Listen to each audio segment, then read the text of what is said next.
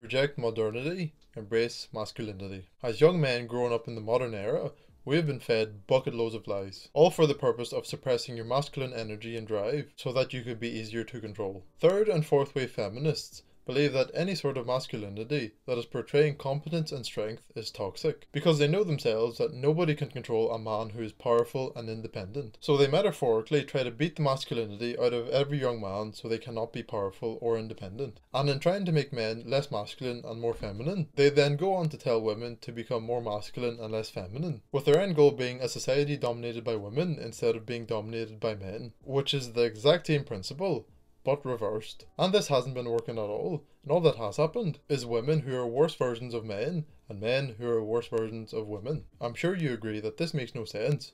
Women have gotten equal rights a long time ago, and now they actually have more rights than men. And all that the third and fourth wave feminists now want is not equality, but the suppression and conquering of men. I'm infuriated that this is now accepted, and more infuriated that there has been countless men who have been brainwashed, and who are now no longer able to pursue their purpose, achieve great things, and build a better life around them. I'm trying to spread a message of what the truth is, and to help young men like you to reject modernity and embrace masculinity. Forget what modern people have been telling you on how to act and how to behave. Men are not supposed to be sensitive, emotional, or needy, nor are they supposed to be feminists, stay at home dads, showing vulnerability, splitting the bill all the time, using emotions rather than logic, or seeing women as their entire world. Men are not supposed to act or behave like women.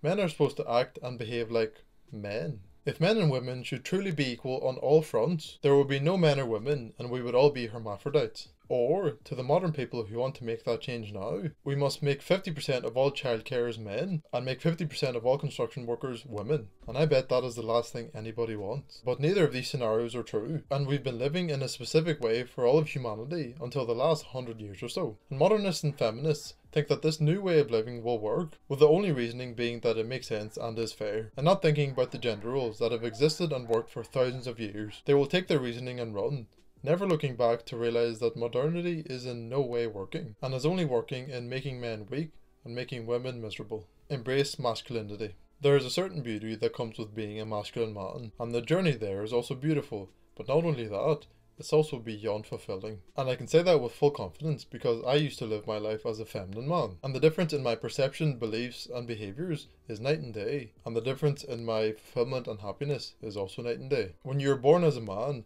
your future is already planned out for you. You will work, fail, get rejected, want to quit, see no hope, wonder what it's all for, but then you prevail. Start chasing excellence. Build upon small wins and keep improving yourself for the better. And before you know it, You've built an incredible life for yourself.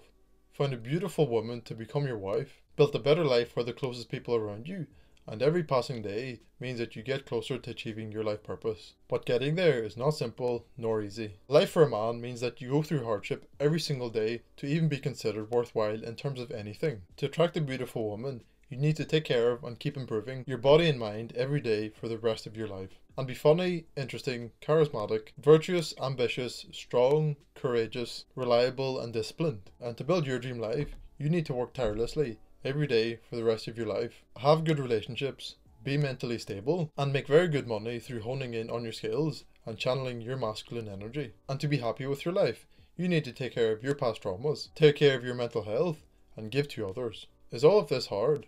Yes.